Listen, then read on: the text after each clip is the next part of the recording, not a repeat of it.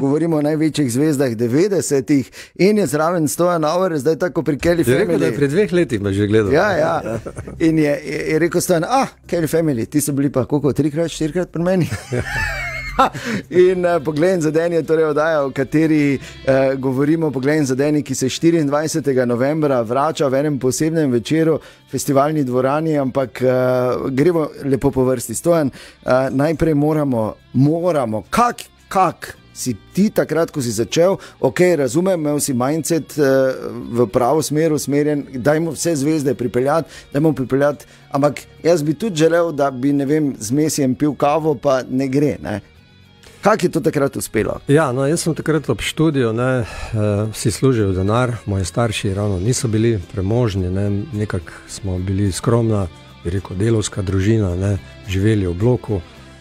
Um, in kot DJ sem imel pač to priložnost ali pa možnost, ne, da smo kar precej uh, hodili naokrog ne, po nove plošče. Takrat nisi mogel z interneta, ker je ena plošča zelo pobrati. Vodil sem eno najbolj popularnih v zgodovini radijev, še danes, oddaj na splošno na slovenskem. To je bila oddaja popularnih 20. Ki sem jo jaz poslušal kot otrok. Res? Da, ja, ja, redno. Na, na, na tej oddaji pa smo seveda predstavljali nove plošče. Ne. In da smo te nove plošče dobili, je bilo treba vsak teden in to je bila meni največja muka eh, hoditi okrog, iti tudi v London, se zapeljati z avtom ne, in seveda pripeljati domov novosti, ki so bile takrat edino na ploščah. Ne. Takrat ni bilo nekih downstreamov in to, ne, da si Ja. ja. z enim klikom dobil en nov komat. Ne. In potem seveda se navežejo neki stiki. Prideš do nekih agencij, prideš do nekih kontaktov, prideš do nekih ljudi, prideš do nekih partijev in seveda na ta način. Nekih smo- partijev, opa, ne te ostavim, eh, partiji. Na, Recimo, Ne, v Londonu je ta scena se- bila zelo živa. Veš, recimo, če smo šli v, po plošču, ne smo valjda, šli zvečer malo ven. Okej. Ne, a, In s kom si pa recimo tako, ko rečemo partije od teh znanih, recimo se zabaval.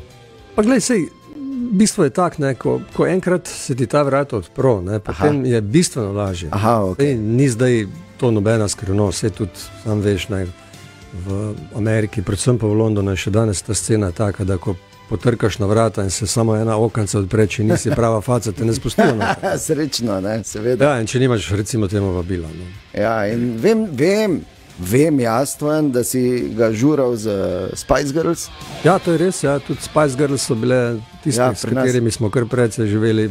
Pelal sem takrat pet srečnežev iz Slovenije na iskanje skritega zaklada z njimi ne, in smo Ja. šli ja. v Prago, se z njimi seveda dva dni družili. Ne. Uh, nekateri so šli z mano tudi v London, uh, nekateri si, si gledali recimo največje televizijske oddaje, jih je vodil Tomas Gočalk. Mm. Marsikaj smo seveda ljudem ponujali. Moja ena izmed rubrik v tej oddaji je bila tudi Izpolnimo željo. Mm -hmm. Ena izmed teh rubrik je bila Zvezdni prah. Mm -hmm. Vsak teden smo pač predstavili neko novo, novega talenta in jim dali 3-4 minute možnosti biti med največjimi zvezdami. Ne? In glede zlomka, bilo je v teh zvezdnem prahu toliko še danes popularnih ljudi, ki so tam pravzaprav začeli. Uh -huh. Par dni nazaj sem se menil recimo z Robertom, ne? ki sem ga povabil, da pride skupino Viktorija namreč. In Ja. seveda so se z velikim veseljem odzvali in pridejo 24. Ne? Ampak je rekel, veš, Stojan, pa mi smo bili takrat v zvezdnem prahu, zdaj rekel, se je ravno zato. ne. Tam smo te mi našli ne? in od hvala Bogu, da si jo tam dalje skupaj s skupino Viktor, seveda potem kasneje tudi štartal. Ne? Kdo te od vseh gostov, ki si jih imel najbolj navdušil, koga imaš najbolj tak, recimo enega, dva, dve, tri? Pa ne, se veš, to je toliko enih anegdot. Ne, ne bom rekel, ne, kako je bilo, recimo, ko je prišla Samantha Fox, ne, pa je eno od mojih frizerk zapeljala ne, in sta Lepo. preživela čudno, zelo lepo noč, ki se še ona danes spominja. in Tako naprej. Jaz Teh je bilo kar nekaj. Jaz sem Samantha Fox potem videl, ker je bila v, eh, šla potem v nočni klub Amadeus tudi. Ja. In jaz sem šel dol po slovenski, relativno pozno, ona pa gor z bodyguardom, tako pač drobna, ja. kot je bila. Ne. In ste šla mimo mene na slovenski in sem rekel. Ali se ti zavedaš, da si imel njene postere, ja. zdaj pa gre mimo tebe? Hvala, stojan. Ja, ja. Ampak ob tem bi rad še to dodal. Ne. Takrat sem poklical Adrijo Erves, ki je še bila živa. Ne. Sem rekel, dajte mi pripeljati sponzorsko, ne Samantha Fox iz Londona. Bila je direktna linija iz Ljubljana do Londona. Ja. To so rekli, da ja, ni problema, ampak to boš ti plačal. Ne? No, potem pokličem Austrian Airlines ne? In so bili navdušeni, da lahko pripeljejo Samantha grad. So jo seveda poslikali, tam pričakala je tudi ekipa ORF-a na Hrvaškem ja, ja. letališču. Ja, ja. Hočem nekaj reči, ne? koliko priložnosti je bilo tudi za promocijo nas samih. Ne? Pa morda tega niso drugi znali izkoristiti. Ja. So pa znali izkoristiti oddajo, pogled za deni, Power Dancer, ki je stojen danes, uh, naš gost in nadaljujemo takoj potem.